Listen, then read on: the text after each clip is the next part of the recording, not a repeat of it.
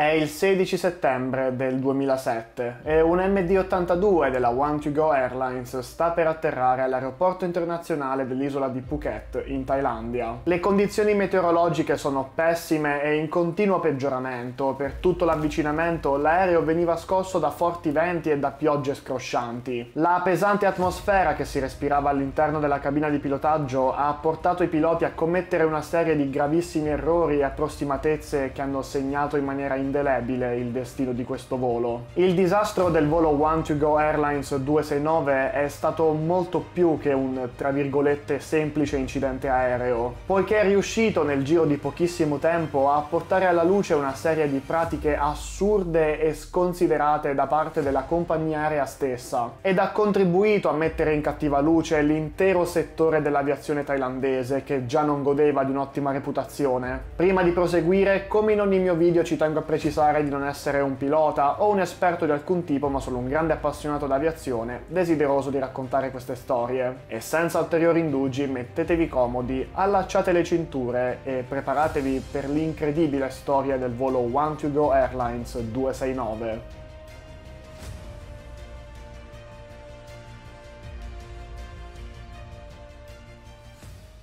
Come annunciato dall'introduzione è il 16 settembre del 2007 e ci troviamo all'aeroporto internazionale Don Muang di Bangkok in Thailandia. Anche per questo video vale la doverosa premessa delle pronunce dei nomi purtroppo. Sono circa le 2 del pomeriggio e i 123 passeggeri del volo One2Go Airlines 269 si stanno preparando all'imbarco a bordo del McDonnell Douglas MD-82 che quel giorno li avrebbe portati fino all'aeroporto dell'isola di Phuket. Secondo le statistiche del 2019 2019 l'aeroporto di Phuket è il terzo più trafficato dell'intera Thailandia, con oltre 18 milioni di passeggeri che vi hanno transitato. Essendo un'ambita destinazione turistica, è destinazione di decine e decine di compagnie aeree dell'area asiatica, tra cui anche la One2Go Airlines. Nata nel 2003, la One2Go Airlines rappresentava il ramo low cost della compagnia thailandese charter Orient Thai Airlines. Aveva sede principale all'aeroporto Don Muang di Bangkok e serviva solamente due destinazioni destinazioni domestiche alla Thailandia, ovvero gli aeroporti di Chiang Rai e Phuket. Per via delle sue ridotte dimensioni aveva una flotta di appena 13 aerei, tra cui 4 Boeing 757-200 e 9 aerei della serie McDonnell Douglas MD-80. Li abbiamo già visti in altri video su questo canale, gli aerei della serie MD-80 hanno praticamente scritto la storia dell'aviazione civile. Nati come un'evoluzione a fusoliera allungata dello storico Douglas DC-9, per quasi 4 decenni hanno volato volato per centinaia e centinaia di compagnie aeree in tutto il mondo. In particolare l'esemplare coinvolto nella vicenda di oggi era un MD-82 immatricolato come Hotel Sierra Oscar Mike Golf. Fu inizialmente costruito e consegnato nel dicembre del 1983 alla compagnia statunitense Trans World Airlines ed era immatricolato come November 912 Tango Whiskey. Nel dicembre del 2001, per via dell'assorbimento della TWA da parte di American Airlines, passò in flotta proprio a quest'ultima. Ha volato con American fino a marzo del 2006 per poi passare nell'aprile del 2007 proprio alla One2Go Airlines. Ora affidatevi che ci sarebbero da dire davvero un'infinità di cose sulle pratiche e le politiche di questa compagnia aerea, ma riprenderemo questo discorso più tardi. Per il momento mi limito a ribadire un discorso al quale già accennai nel mio video sul volo Lion Air 904 purtroppo, ovvero che moltissime compagnie, soprattutto low cost e charter dell'area del sud-est asiatico, non godono affatto di un'ottima ottima reputazione, in particolar modo dal punto di vista della sicurezza. Da quest'area del mondo sono uscite fin troppe storie di approssimatezza, scarsa manutenzione degli aerei, mancata adesione agli standard internazionali e anche di corruzione. E senza anticiparvi troppo, devo dire che la vicenda di oggi ha scritto una pagina particolarmente oscura della storia dell'aviazione thailandese, anche se devo dire che al giorno d'oggi le cose sono decisamente migliorate anche solamente rispetto al periodo di questo incidente, che ricordo essere il 2000 2007. Ma adesso è arrivato il momento di conoscere l'equipaggio della storia di oggi. Il 57enne comandante Arief Muliadi aveva alle spalle 16.752 ore di volo totali, di cui 4.330 sugli aerei della serie MD-80. Era senza dubbio un comandante di grande esperienza, con un passato a bordo di Boeing 737-200 e Fokker F-100 ed F-70. Il trentenne primo ufficiale, il cui nome non provo neanche a pronunciare, scusatemi, aveva alle spalle 1465 ore di volo totali, di cui 1240 sugli MD-80. Egli aveva ottenuto la sua abilitazione al volo di linea solamente il 18 dicembre del 2005, quindi aveva molta meno esperienza rispetto al comandante. La loro giornata lavorativa del 16 settembre 2007 sarebbe stata decisamente impegnativa. Avevano infatti in programma di operare ben 6 voli, essenzialmente 3 rotazioni complete, quindi voli di andata e ritorno tra Bangkok e Phuket, e ciascuna tratta avrebbe avuto una durata di circa un'ora e 20 minuti. A fine giornata avrebbero accumulato un totale di 8 ore di volo, escludendo i tempi di turnaround che non vengono conteggiati, praticamente il massimo consentito secondo i regolamenti sia di compagnia che gran parte di quelli internazionali. Fidatevi, questo aspetto giocherà un ruolo davvero molto importante in questa vicenda. Oltre ai due piloti e i 123 passeggeri, vi erano a bordo anche 5 assistenti di volo, portando il totale delle persone presenti a bordo a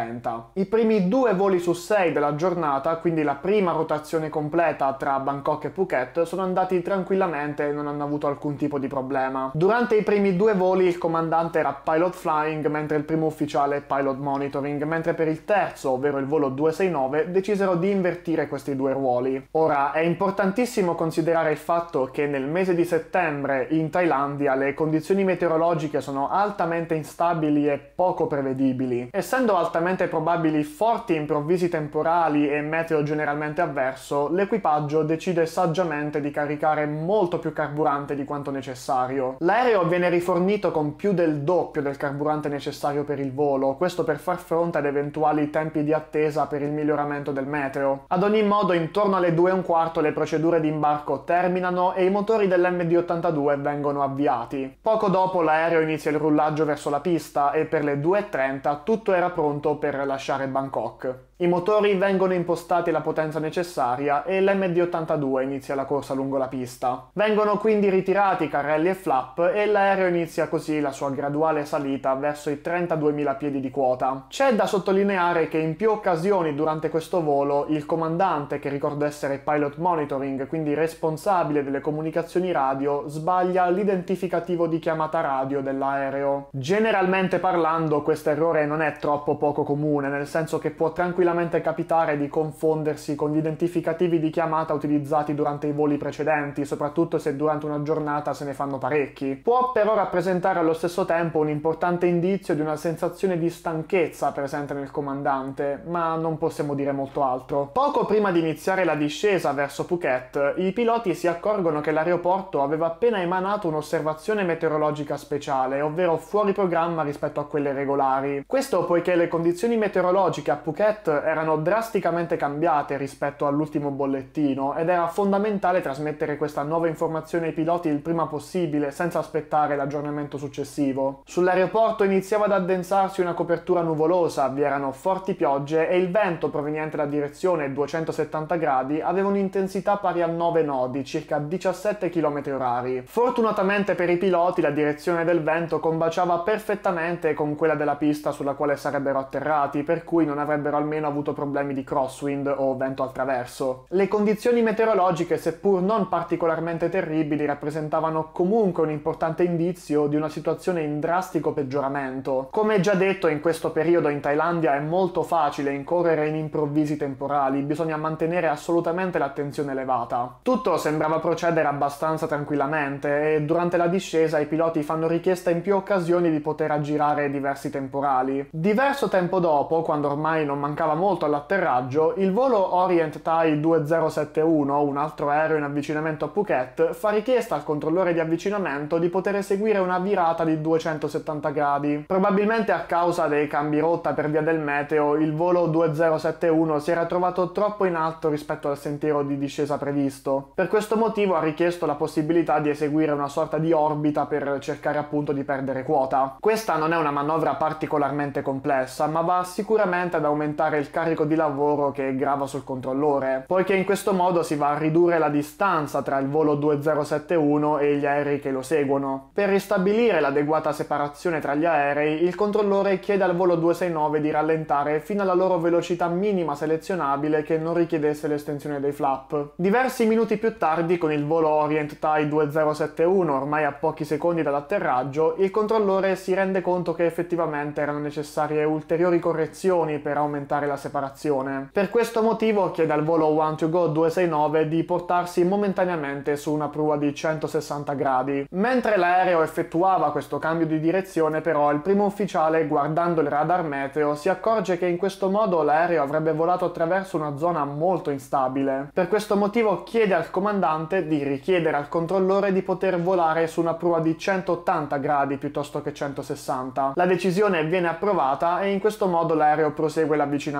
Finora tutto era piuttosto regolare ed anzi l'equipaggio aveva preso le decisioni più giuste. Alle ore 15.36 e 21 secondi il volo Orient TIE 2071 atterra sulla pista 27 dell'aeroporto. Non appena usciti dalla pista, i piloti informano il controllore e quindi anche gli altri aerei in ascolto sulla frequenza della presenza di wind shear in prossimità dell'aeroporto. Del fenomeno meteorologico del wind shear ve ne ho già parlato dettagliatamente nel mio video sul volo Lufthansa 2904 e essenzialmente rappresenta un rapido e improvviso cambiamento di direzione e intensità del vento. Può rappresentare davvero un grande pericolo per gli aerei in fase di decollo o atterraggio poiché va ad influenzare enormemente la velocità relativa all'aria dell'aereo. Per una spiegazione più dettagliata vi invito a recuperare il video citato prima, per questo caso in particolare non è essenziale scendere nei dettagli. Sappiate che il volo Orient TIE 2071 aveva riportato una variazione di velocità pari a 15 nodi, un valore sicuramente piuttosto importante, ma che allo stesso tempo poteva comunque essere affrontato mediante le tecniche di atterraggio giuste. Tornando adesso sul volo One to Go 269, l'aereo era stabile sull'avvicinamento e venivano anche abbassati i carrelli e impostati i flap a 40 gradi. È comunque importante mettere in evidenza quanto il meteo fosse scoraggiante in questo momento, data anche la presenza del wind shear. Ricordate anche quanto detto all'inizio, l'equipaggio aveva fatto imbarcare una quantità extra di carburante proprio per fronteggiare questa evenienza. Sicuramente sarebbe stato più prudente mettersi in attesa del miglioramento delle condizioni meteorologiche piuttosto che provare un avvicinamento così improbabile. Ad ogni modo l'equipaggio decide di proseguire e il primo ufficiale presto scollega il pilota automatico. L'ho già sicuramente accennato in altri video, ma quando si scollega il pilota automatico è buona pratica scollegare anche l'automanetta, il sistema che regola automaticamente la potenza dei motori per far sì che l'aereo mantenga una data velocità specificata dal computer o dai piloti stessi. In condizioni meteorologiche di forti venti è ancora più importante scollegare l'automanetta. Il sistema automatico, soprattutto per quanto riguarda i motori JT8D degli MD80, non è particolarmente reattivo alle raffiche di vento. Per questo è così importante che siano i piloti a regolare manualmente la potenza dei motori in una fase così delicata del volo come l'atterraggio. Anche per questo motivo la fase finale dell'avvicinamento del volo 296 inizia a divenire piuttosto instabile. Il primo ufficiale inizia a combattere contro i forti venti e l'MD80 procedeva in maniera sempre più irregolare. Per darvi un'idea delle condizioni, il controllore informa il volo 296 alle 15:37 minuti e 31 secondi che il vento aveva provenienza a 240 gradi e intensità pari a 15 nodi. Neanche un minuto più tardi, alle 15:38 minuti e 27 secondi, il controllore ricontatta i piloti per informarli che il vento aveva praticamente raddoppiato la sua intensità da 15 nodi a 30. Per via di questo notevole aumento, il controllore chiede conferma ai piloti riguardo alle loro intenzioni di atterraggio e loro effettivamente rispondono in maniera affermativa. Appena 30 secondi più tardi, il comandante richiede un ulteriore aggiornamento rispetto alla situazione dei venti. È decisamente inusuale richiedere un ulteriore aggiornamento a così poca distanza dall'ultimo, ma ad ogni modo il controllore riferisce di un ulteriore aumento. Adesso i venti erano a 40 nodi. L'aereo scende sotto i 500 piedi, circa 150 metri di quota, ed inizia ad affrontare i rapidi cambi di direzione del vento che il volo 2071 aveva affrontato precedentemente. Per qualche istante la velocità relativa all'aria inizia ad aumentare e in tutta risposta i motori che nel frattempo venivano ancora regolati dall'automanetta riducono la loro potenza quasi al minimo. L'MD80 inizia a perdere quota con un ratio di meno 1800 200 piedi al minuto, un valore quasi tre volte superiore a quanto normalmente dovrebbe essere in questa fase del volo. Questa manovra di avvicinamento stava divenendo presto completamente instabile, era questo il momento per iniziare una riattaccata. I piloti però decidono comunque di proseguire e scesi sotto i 30 metri, la velocità relativa all'aria diminuisce drasticamente per via di un improvviso cambio di direzione del vento. Da circa 150 nodi passa velocemente a 126, un valore molto al di sotto della velocità d'avvicinamento stabilita. Il comandante si accorge di questo ed inizia ad esortare il primo ufficiale ad aumentare la potenza. In tutta risposta il primo ufficiale imposta praticamente la potenza massima possibile e l'aereo subisce una brusca accelerazione. Ormai erano scesi sotto i 15 metri di quota, la velocità aveva superato i 166 nodi, circa 300 km orari, e in cabina inizia a risuonare l'allarme di sync rate, ovvero di ratio di discesa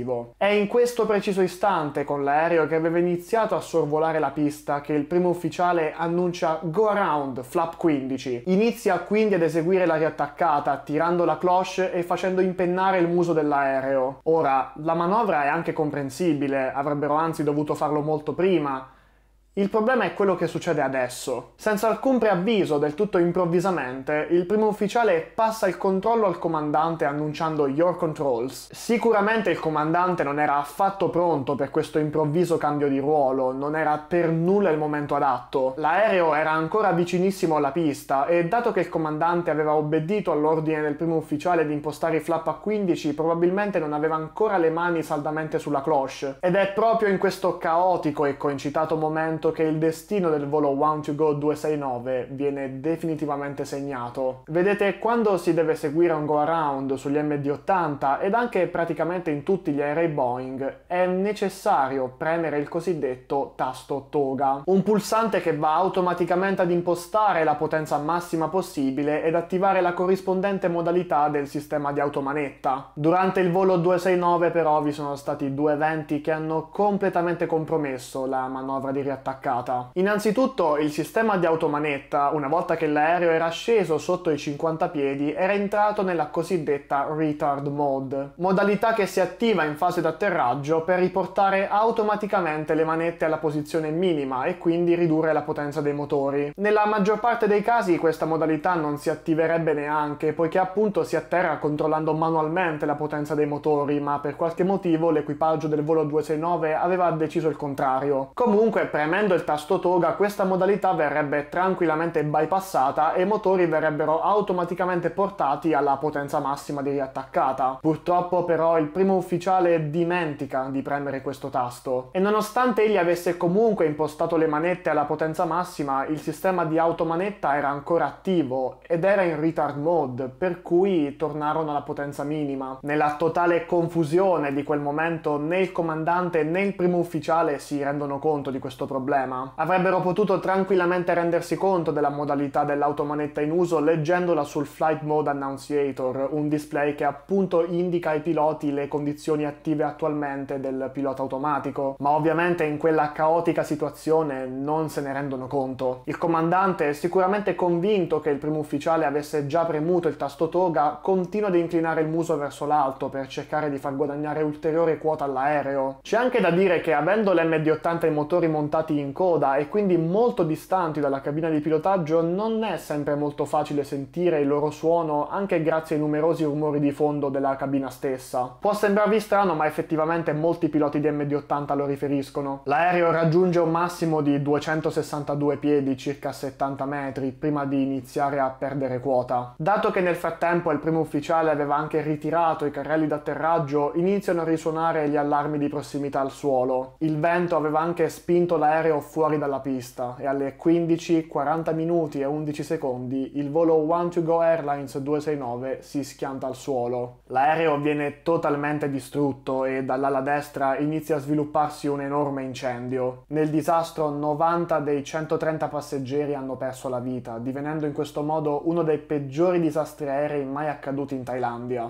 Analizzando i dati di volo e il registratore di cabina, le dinamiche dell'incidente divennero piuttosto chiare agli supervisori. Questo equipaggio aveva delle gravissime mancanze di crew resource management, ovvero di gestione delle risorse di cabina. L'abilità che i piloti devono sviluppare per mantenere sotto controllo la situazione in cabina, condividere informazioni e collaborare. Ciò che emergeva dal volo 269 era un equipaggio che non sapeva gestire una situazione quando questa non andava secondo i piani oltre che ovviamente una scarsità di conoscenza dei sistemi dell'aereo, almeno da parte del primo ufficiale. Fu soprattutto quel passaggio di controllo al comandante inappropriato e senza alcun tipo di preavviso che dipinse l'immagine dell'equipaggio del volo 269. Ma come preannunciato all'inizio, il volo One to Go Airlines 269 scatenò un vero e proprio terremoto per l'intero settore dell'aviazione thailandese. Tutto iniziò quando gli investigatori chiesero alla compagnia i dati relativi agli ultimi voli dell'equipaggio per capire quante ore di riposo avessero avuto e le ore di servizio. L'equipaggio del volo 269 non solo aveva lavorato per più ore di quanto dovuto, ma non aveva neanche le adeguate ore di riposo. E mica solo per il volo 269 per mesi e mesi delle loro carriere. Ovviamente però questo problema non era affatto isolato solamente all'equipaggio del volo 269, ma a tutti i piloti della One to Go Airlines. E non solo, ricordate che One to Go Airlines è semplicemente il ramo low cost di Orient Thai e anche i piloti di quest'ultima avevano questo problema. Ma tranquilli perché abbiamo appena cominciato. Venne fuori che la direzione della compagnia pagava appositamente i piloti per volare fuori dai loro orari consentiti e che le sessioni d'addestramento venivano fatte con simulatori vecchi, con funzioni mancanti e del tutto fuori norma. Anche i proficiency check dei piloti, ovvero gli esami di verifica delle competenze, venivano svolti in maniera totalmente approssimativa, omettendo importantissimi tantissime parti dei programmi e anche ovviamente il corso di CRM. Giusto per un riferimento, i ricorrenti corsi CRM dovrebbero essere ripetuti ogni 12 mesi, mentre il comandante del volo 269 lo aveva svolto l'ultima volta nel febbraio del 2001, quindi oltre 6 anni prima dell'incidente. In generale la One to Go Airlines e la Orient Thai si rivelarono essere delle compagnie completamente marce. Sicuramente le compagnie se la cavavano piuttosto male in quel periodo dal punto di vista economico. Non avevano decisamente retto ai contraccolpi del settore dati dall'11 settembre e soprattutto localmente dallo tsunami del 2004 e il momentaneo crollo dei turisti in Thailandia che ne derivò. La paga dei piloti era decisamente scarsa rispetto ad altre compagnie, per questo motivo quelli con più esperienza preferivano assolutamente andare altrove. Per questo motivo nel 2009 la One to Go Airlines e la Orient Thai vennero inserite nella lista delle compagnie aeree bandite dall'Unione Europea. Certo, non avrebbero mai comunque volato in Europa, ma è un dato molto indicativo. Appunto vi finiscono anche compagnie che non hanno nulla a che vedere con l'Unione Europea, ma vi dà davvero una grande indicazione. Al di là della compagnia, gli investigatori scoprirono anche dei gravi problemi dell'aeroporto di Phuket. Scoprirono che l'aeroporto non aveva neanche un adeguato piano di risposta a un incidente aereo sul suolo aeroportuale attuale. Infatti la risposta dei vigili del fuoco fu piuttosto rallentata e confusa, principalmente poiché non sapevano se dovevano intervenire la divisione aeroportuale o quella della città. Ma poi c'è anche una vera e propria perla che vi giuro mi fa morire dal ridere anche se non dovrei. In pratica gli investigatori decisero di analizzare i sistemi di rilevamento del wind shear in aeroporto. Sulla superficie aeroportuale vi trovarono sei antenne o comunque i dispositivi che sono pensati per questo compito. Bene, vi ricordo che questi dispositivi sono pensati per essere in funzione principalmente quando il meteo non è buono. Vi giuro che non ho idea di come abbiano potuto pensare